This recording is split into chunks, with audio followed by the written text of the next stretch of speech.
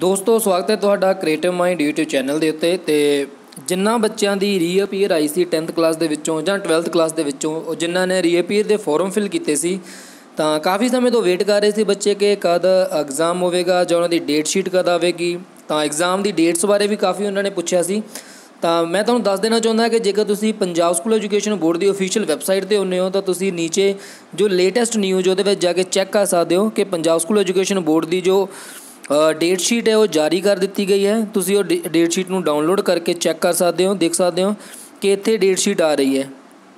ਤਾਂ ਮੈਂ date sheet ਨੂੰ ਡਾਊਨਲੋਡ ਕਰਦਾ ਹਾਂ ਤੇ ਉਸ ਤੋਂ ਬਾਅਦ ਤੁਹਾਨੂੰ ਦਿਖਾਉਣਾ ਤਾਂ date sheet for the matriculation and the second senior secondary school ਤਾਂ ਇਸ ਡੇਟ ਸ਼ੀਟ ਨੂੰ ਆਪਾਂ ਡਾਊਨਲੋਡ ਕਰ ਦਿੰਨੇ ਆ ਡਾਊਨਲੋਡ ਕਰਨ ਤੋਂ ਬਾਅਦ ਆਪਾਂ ਦੇਖ ਲਾਂਗੇ ਕਿ ਕਿਸ ਦਿਨ, ਕਿਸ ਕਿਹੜਾ ਐਗਜ਼ਾਮ ਹੋਣਾ ਹੈ। ਵੈਸੇ ਮੈਂ ਇਸ ਨੂੰ ਡਾਊਨਲੋਡ ਕੀਤਾ ਹੋਇਆ ਹੈ। ਤਾਂ ਡਾਊਨਲੋਡ ਹੋਣ ਨੂੰ ਜੇ ਟਾਈਮ ਲੱਗਦਾ ਹੈ ਤਾਂ ਮੈਂ ਓਪਨ ਕਰਕੇ ਤੁਹਾਨੂੰ ਦਿਖਾ ਦਿੰਦਾ ਹਾਂ।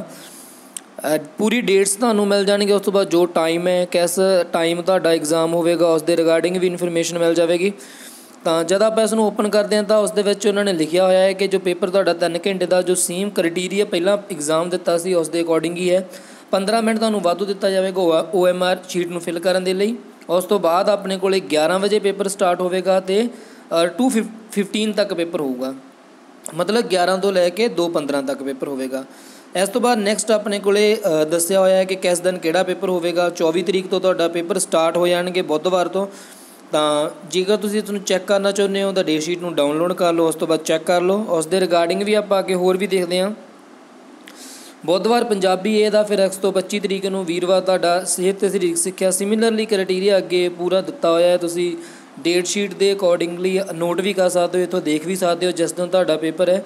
ਤਾਂ ਕਿਸ ਦਿਨ ਪੇਪਰ ਹੈ, ਉਸ ਦੇ ਰਿਗਾਰਡਿੰਗ ਜੋ ਵੀ ਡੇਟ ਸ਼ੀਟ ਡੇਟ ਹੈ, ਉਹ ਤੁਸੀਂ ਚੈੱਕ ਕਰ ਸਕਦੇ ਹੋ। ਤਾਂ ਇਹ ਪੂਰਾ 10th ਕਲਾਸ ਦਾ ਹੈ। 10th ਕਲਾਸ ਤੋਂ ਬਾਅਦ 12th ਕਲਾਸ ਦੀ ਵੀ ਡੇਟ ਸ਼ੀਟ ਦਿੱਤੀ ਗਈ ਹੈ। ਤਾਂ ਇਸ ਤੋਂ ਬਾਅਦ ਕੁਝ ਚੀਜ਼ਾਂ ਲਿਖੀਆਂ ਆਪਾਂ ਇਹਨੂੰ ਪੜ੍ਹ ਕੇ ਥੋੜਾ ਜਿਹਾ ਦੇਖਦੇ ਹਾਂ। ਜੇਕਰ ਕਿਸੇ ਵਿਦਿਆਰਥੀ ਦੀ, ਪ੍ਰਖਿਆਰਥੀ ਦਾ ਗ੍ਰੇਡਿੰਗ ਵਾਲੇ ਚੋਣਵੇਂ ਵਿਸ਼ੇ ਦਾ ਕੋਈ ਪੇਪਰ ਕਲੈਸ਼ ਕਰਦਾ ਹੈ, ਤਾਂ ਉਸ ਦੀ ਪ੍ਰਤੀ ਬੇਨਤੀ ਮੁੜ ਪ੍ਰੀਖਿਆ ਕਰਵਾ ਦਿੱਤੀ ਜਾਵੇਗੀ। ਮਤਲਬ ਜੇ ਕਿਸੇ ਬੰਦੇ ਦੇ ਕੋਈ ਦੋ ਪੇਪਰ ਇਕੱਠੇ ਆ ਰਹੇ ਆ ਤਾਂ ਇੱਕੋ ਡੇਟ ਵਿੱਚ ਆ ਰਹੇ ਆ ਤਾਂ ਉਹ ਦੁਬਾਰਾ ਕਰਵਾ ਲਏ ਜਾਣਗੇ, ਉਹਦੇ ਬਾਰੇ ਲਿਖਿਆ ਹੋਇਆ ਹੈ।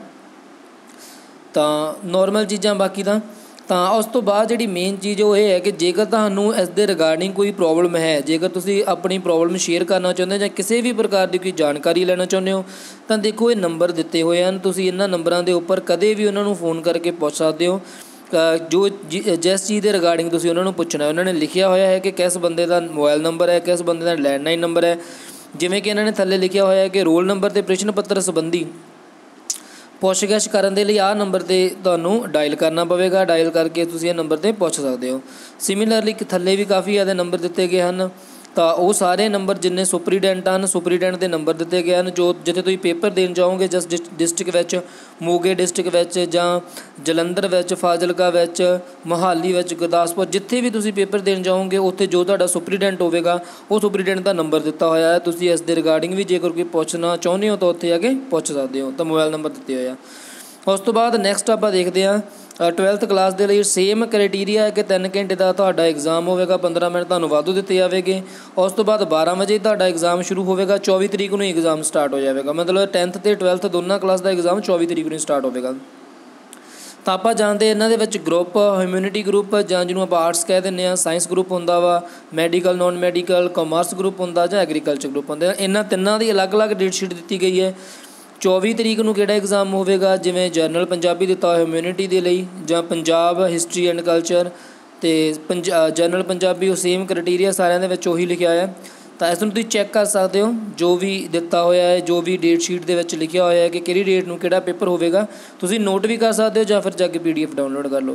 ਕਿਉਂਕਿ ਇੱਥੇ ਵੀ ਇੱਥੇ ਵੀ ਤੁਹਾਨੂੰ ਜੋ ਦਿਖ ਰਿਹਾ ਹੈ, ਉਸ ਦੇ ਰਿਗਾਰਡਿੰਗ ਜੋ ਵੀ ਤੁਹਾਡਾ ਐਗਜ਼ਾਮ ਹੈ ਉਸ ਦੇ ਜੋ ਸਾਹਮਣੇ ਡੇਟ ਲਿਖੀ ਗਈ ਹੈ ਉਸ ਨੂੰ ਨੋਟ ਕਰ ਸਕਦੇ ਹੋ। ਉਸ ਤੋਂ ਬਾਅਦ similarly home science agriculture history chemistry ਜਾਂ ਜੋ ਵੀ ਸਾਇੰਸ ਗਰੁੱਪ ਨਾਲ ਰਿਲੇਟਡ ਹੋ ਜਾਂ ਆਰਟਸ ਦੇ ਨਾਲ ਰਿਲੇਟਡ ਹੋ ਜਾਂ ਕਾਮਰਸ ਗਰੁੱਪ ਦੇ ਨਾਲ ਰਿਲੇਟਡ ਹੋ ਜਾਂ ਫਿਰ ਐਗਰੀਕਲਚਰ ਦੇ ਨਾਲ ਰਿਲੇਟਡ ਉਹਦੇ ਰਿਗਾਰਡਿੰਗ ਤੁਸੀਂ ਆਪਣੀ ਡੇਟ ਸ਼ੀਟ ਇਤੋਂ ਚੈੱਕ ਕਰ ਸਕਦੇ ਹੋ। ਤਾਂ ਇਹੀ ਡੇਟ ਸ਼ੀਟ ਸੀ ਇਹਨਾਂ ਦੁਆਰਾ ਜੋ ਦਿੱਤੀ ਗਈ ਸੀ। ਤਾਂ ਇਸ ਤੋਂ ਬਾਅਦ ਡੇਟ ਸ਼ੀਟ ਹੈ ਜੋ ਵੋਕੇਸ਼ਨਲ ਦੇ ਬੱਚੇ ਹਨ ਵੋਕੇਸ਼ਨਲ ਵਾਲਿਆਂ ਦੀ ਵੀ ਡੇਟ ਸ਼ੀਟ ਦਿੱਤੀ ਗਈ ਹੈ, ਉਹ ਵੀ ਤੁਸੀਂ ਚੈੱਕ ਕਰ ਸਕਦੇ ਹੋ। ਜਾਂ ਤਾਂ ਫਿਰ ਇੱਥੋਂ ਦੇਖ ਲਓ ਜਾਂ ਫਿਰ ਜੇ ਕੋਈ ਪੀਡੀਐਫ ਡਾਊਨਲੋਡ ਕਰਨਾ ਚਾਹੁੰਦੇ ਹੋ, ਤੁਹਾਨੂੰ ਮੈਂ ਦੱਸਿਆ ਕਿ ਅਫੀਸ਼ੀਅਲ ਵੈਬਸਾਈਟ ਤੇ ਜਾ ਕੇ ਇਸ ਨੂੰ ਡਾਊਨਲੋਡ ਕਰ ਸਕਦੇ ਹੋ। ਸਿੰਪਲੀ ਆਪਣੇ ਕੋਲੇ ਵੋਕੇਸ਼ਨਲ ਦੇ ਲਈ ਵੀ ਡੇਟ ਸ਼ੀਟ ਇਹਨਾਂ ਨੇ ਦੇ ਦਿੱਤੀ ਹੈ ਸਾਰੀ। ਤੇ ਸੁਪਰੀਡੈਂਟ ਦੇ ਨੰਬਰ ਵੀ ਲਾਸਟ ਵਿੱਚ ਦਿੱਤੇ ਗਏ ਹਨ ਕਿ ਜੇਕਰ ਤੁਸੀਂ ਪੇਪਰ ਫਿਲ ਕਰ ਰਹੇ ਹੋ, ਤੁਹਾਨੂੰ ਕੀ ਪ੍ਰੋਬਲਮ ਹੈ ਕਿਸੇ ਚੀਜ਼ ਦੇ ਵੀ ਰਿਗਾਰਡਿੰਗ ਜਾਂ ਤੁਹਾਡੇ ਰੋਲ ਨੰਬਰ ਦੇ ਰਿਗਾਰਡਿੰਗ ਜਾਂ ਕੋਈ ਵੀ ਚੀਜ਼ ਦੇ, ਤਾਂ ਤੁਸੀਂ ਇਹਨਾਂ ਨੂੰ ਜਾ ਕੇ ਪੁੱਛ ਸਕਦੇ ਹੋ। ਇਸ ਤੋਂ ਬਾਅਦ ਜੇਕਰ ਆਪਾਂ ਗੱਲ ਕਰੀਏ ਰੋਲ ਨੰਬਰ ਦੀ ਕਿ ਰੋਲ ਨੰਬਰ ਕਦ ਤੱਕ ਸਾਨੂੰ ਮਿਲ ਜਾਣਗੇ, ਹਜੇ ਤੱਕ ਤਾਂ ਰੋਲ ਨੰਬਰ ਬਾਰੇ ਕੋਈ ਵੀ ਅਫੀਸ਼ੀਅਲ ਨੋਟੀਫਿਕੇਸ਼ਨ ਨਹੀਂ ਆਇਆ। ਜਦ ਵੀ ਆਵੇਗਾ, ਮੈਂ ਤੁਹਾਨੂੰ ਦੱਸ ਦੇਵਾਂਗਾ। ਜਿਨ੍ਹਾਂ ਬੱਚਿਆਂ ਨੇ ਆਪਣੇ ਫਾਰਮ ਫਿਲ ਕੀਤੇ ਸੀ ਰੀਅਪੀਅਰ ਦੇ ਫਾਰਮ ਫਿਲ ਕੀਤੇ ਸੀ, ਉਹਨਾਂ ਦੀ ਜੋ ਜੋ ਵੀ ਰੋਲ ਨੰਬਰ ਆਵੇਗਾ, ਉਸ ਦੇ ਰਿਗਾਰਡਿੰਗ ਜਦੋਂ ਵੀ ਨੋਟੀਫਿਕੇਸ਼ਨ ਆਵੇਗਾ, ਮੈਂ ਉਸ ਨੂੰ ਦੱਸ ਦੇਵਾਂਗਾ। ਜਾਂ ਜਿਨ੍ਹਾਂ ਬੱਚਿਆਂ ਨੇ ਰਿਵੈਲੂਏਸ਼ਨ ਫਿਲ ਕੀਤੀ ਸੀ ਰਿਵੈਲੂਏਸ਼ਨ ਦੇ ਵੀ ਹਜੇ ਤੱਕ ਕੋਈ ਰਿਜ਼ਲਟ ਨਹੀਂ ਆਇਆ, ਜਦ ਉਸ ਦੇ ਰਿਗਾਰਡਿੰਗ ਵੀ ਕੋਈ ਰਿਜ਼ਲਟ ਆਵੇਗਾ, ਤਾਂ ਮੈਂ ਵੀਡੀਓ ਬਣਾ ਕੇ ਤੁਹਾਨੂੰ ਉਸ ਦੇ ਪ੍ਰਤੀ ਅਵੇਅਰ ਕਰ ਦੇਵਾਂਗਾ। ਵੀਡੀਓ ਚੰਗੀ ਲੱਗੀ ਹੈ ਤਾਂ ਇਸ ਨੂੰ ਲਾਈਕ ਤੇ ਆਪਣੇ ਦੋਸਤਾਂ ਨਾਲ ਸ਼ੇਅਰ ਜ਼ਰੂਰ ਕਰਿਓ। ਜੇਕਰ ਤੁਹਾਡੇ ਮਨ ਵਿੱਚ ਕੋਈ ਪ੍ਰੋਬਲਮ ਹੈ ਜਾਂ ਕੋਈ ਕੁਐਸਚਨ ਹੈ ਜਾਂ ਕਿਸੇ ਵੀ ਤਰ੍ਹਾਂ ਦਾ ਪ੍ਰਸ਼ਨ ਹੈ ਤਾਂ ਤੁਸੀਂ ਕਮੈਂਟ ਬਾਕਸ ਵਿੱਚ ਜਾ ਕੇ ਟਾਈਪ ਵੀ ਕਰ ਸਕਦੇ ਹੋ। ਵੀਡੀਓ ਦੇਖਣ ਲਈ ਤੁਹਾਡਾ ਸਾਰਿਆਂ ਦਾ ਬਹੁਤ ਬਹੁਤ ਧੰਨਵਾਦ।